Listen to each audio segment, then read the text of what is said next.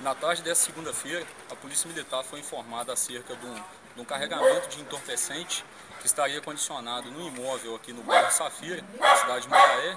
E, tão certo dessa informação, o comando do pelotão tático móvel, o Tenente Melo, juntamente com outro militar, iniciou uma campana próximo ao imóvel para se certificar da procedência da denúncia. É, passados alguns instantes, eles observaram que o fato seria procedente e assim empenhou os militares do Tático Móvel, da Roca e do GPMOR no local, onde iniciamos uma verbalização com a moradora e, passados alguns instantes, ela nos franqueou a entrada no imóvel, com o início das buscas, é, culminou com a localização de aproximadamente 10 quilos de entorpecente. Sabemos que esse material não pertence a essa moradora e as diligências continuam para tentativa de captura e